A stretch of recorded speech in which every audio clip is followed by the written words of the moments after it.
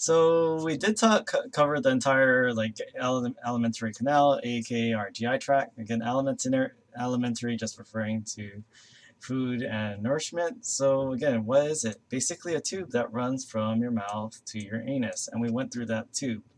But is that all there is to your digestive system? There is more. And you also have your accessory organs, and the main accessory organs are your liver, your gallbladder, and your pancreas. So we're so let's do a little backtracking and go back to the small intestines, and let's pretend we're just done with the stomach. We're done with mixing up the bolus with gastric acid and making chyme, and now we're dumping the chyme into the small intestines. So what's the first part? Well, you have your duodenum and then your jejunum and ileum, but let's focus on the duodenum for now. So the pancreas, one of our so-called accessory organs. So what happens is that the, you see that the head of pancreas is actually cradled by the duodenum. And even though the pancreas looks like it's very solid in this picture right here, the pancreas is a very, very delicate organ made of very delicate tissues. I've heard an analogy used like it's like uh, a paper tip, like a bunch of sand held in a paper towel. It's like super delicate. And things that, okay, well, we have our duodenum, which is part of the main GI tract, because again, it's part of that big tube and part of your intestines. So the duodenum is the first small part, first part of the small intestines, but it's the intersection where you have all of these three accessory organs we're going to talk about that all connects to the main GI tract at the duodenum. So the liver is an, again, accessory is just in terms of actually location. Does that mean it's not important whatsoever? The liver is probably the most overlooked, underappreciated organ in this entire book. It's mentioned the most in the digestive system, but does much more than help with your digestive system. If your liver fails, the rest of your organs are going to fail. That's why they, if you ever have the blood work, they always check your liver enzymes to make sure your liver is healthy. So the thing is, it's very important for metabolism. So not just your own metabolism of nutrients, but also in metabolizing, like when you take a drug, pretty much any drug you ingest through the oral route has to, all the chemicals from that eventually goes through your liver, which changes it chemically. And it's also very important in homeostasis. We'll cover that really soon. And there's also the pancreas. Again, it's accessory because it's not part of that main tube itself. It's like a branch that leads to that tube, but it doesn't develop from that alimentary canal that runs from the mouth to the anus. So it's like something on the side, but accessory does not mean not important. Accessory doesn't mean unimportant or optional. Accessory just means it's not part of the GI tract or proper. So it's also very important for chemical digestion. It produces a lot of chemicals and enzymes, and also important for metabolism as well. So if you have, don't have your liver, you don't have your pancreas, that is going, well, yeah, if you don't have a liver altogether, good luck staying alive. Same with the pancreas. They're very essential things, and we did cover the pancreas as it related to the endocrine system. But now we're going to talk about its exocrine, its digestive system roles. And let's talk about the pancreas first. So again, the pancreas, what we have here, the head of the pancreas is being cradled by the duodenum. And then you have the body of the pancreas. This is everything that's jutting out from the head of the pancreas toward the left side of your body. Now the pancreatic duct, this is the main duct that basically takes all the pancreatic juices that the pancreas produces and squirts it into the GI tract. And that's different from your endocrine system because remember endocrine system and hormones. Where do you secrete hormones? What's the primary carrier of hormones? Blood is the primary carrier of hormones, right? But is this secreting it into the blood in the pan in terms of like the pancreas's role in digestive the digestive system? It's exocrine it's uh, exocrine secretion because it's actually secreting it onto a surface and even though you don't have your mouth open all the time, you don't have the anus open all the time, but this part is exposed to the environment. So it is going to the it's on the surface, it's in the surface inside of your body, but it's not in your bloodstream, it's in your GI tract. So all the pancreatic juices are going to end up in your GI tract. And then you also have the accessory pancreatic duct here, so there are multiple routes, and that's why you have these little openings over here. Now, what what does the pancreas what does the pancreas make? Well, you have the pancreatic pancreatic duct and all these little branches up here. So again, endocrine is bloodstream, and you have endocrine cells in your pancreatic islet. So pancreatic islets, they secrete into the bloodstream. That's why you have all this, what I think is the artery and all these capillaries over here. Now you have pancreatic blood vessels, but exocrine secretions, these are going to go in a different route. They're not going to go into the bloodstream. They're going to go inside that pancreatic duct.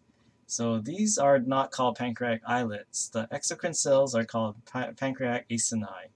So these are like different types of cells. They still produce a secretion. They do produce substances and chemicals and molecules, but instead of going into the bloodstream, they go into the pancreatic duct and eventually into your duodenum.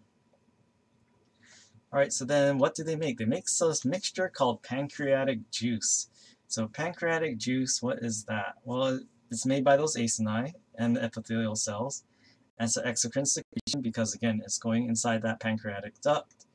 But it also has a alkaline or basic pH. And why is that important? Well, remember that gastric acid, it's super acidic, that uh, pH about like 1.5 to 3.5. Well, what happens if that acid keeps on traveling at that very acidic pH throughout the rest of your digestive system? Well, if there's any place where there is not enough mucus, that could dissolve the insides of your body, right? So it's good that the pancreatic juice has an alkaline basic pH so that once you're done mixing up that the food, the, the bolus in your stomach and making chyme, that you can neutralize the chyme so it's easier in terms of like its pH balance going through the rest of your digestive tract. It also contains many enzymes. So enzymes we're going to cover real quick. And you actually produce a lot of this. This is why the pancreas, even though anatomically it's an accessory structure of the digestive tract, it's not that it's not important. It's actually very important because it produces a lot of this juice. And what's in this juice? Well, it has buffers that make it more toward the alkaline and basic side of the pH scale. It also has enzymes. So remember our four types of eh, macromolecules. And again, three of them are on your nutrition label. So we have four broad categories of macromolecule enzymes. Now, there's not a single type of enzyme for each, but this is our broad categories. And what we have are amylases. In general, they break down carbohydrate polymers, such as starches and glycogen. And then lipases, they break down lipids. So that's pretty easy, right? So they break down things like triglycerides. They don't break down cholesterol, and if we have time in the metabolism chapter, we might be able to talk about that, but they break down triglycerides, and triglycerides we'll cover pretty soon in this semester. And then proteases, well, what does protease sound like? It sounds like protein, right? So proteases break down polypeptides into uh, proteins. And nucleases break down nucleic acids. This includes DNA and RNA. So that's why, like, if, even if like um a, a wayward virus makes itself into the GI tract, if it's not evolved to or have the defenses to survive the different enzymes and acids your GI tract has, if there's any like random DNA or nuclei or DNA or RNA, if you eat DNA and RNA, these nucleases are going to break it down as well.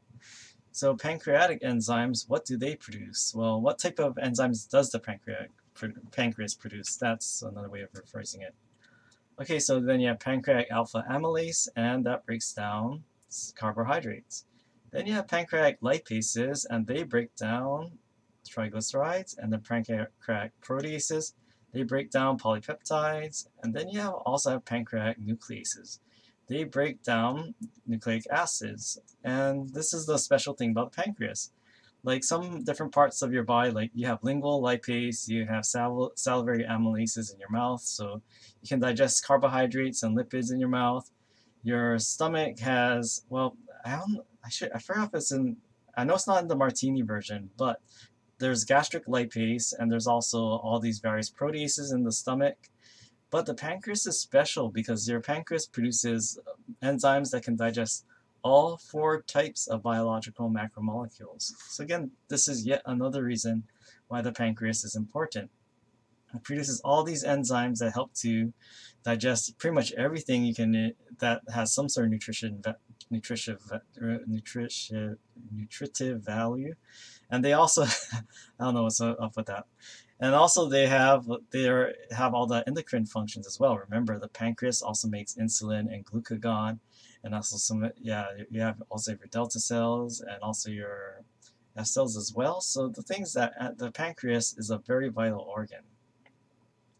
And this is what we have here. Look at this pancreatic enzyme formula, and I think you can actually buy these over the counter at like a local farm uh, drugstore. And what do you have there? Well, what do you notice it has there? It's a plant source and has amylases, lipases, and proteases. So say someone is having trouble or they have pancreatic insufficiency, where they're not producing enough pancreatic juice, well, maybe they can take a supplement that increases the amount of the enzymes so that they're able to chemically digest their food better and get more nutrition from what they eat. So yeah, notice that these are all there. Okay, so then the pancreatic duct goes this way and it opens up here. And you have your accessory pancreatic duct, but there's yet another tube over here. What's this third tube? It's not part of the pancreas.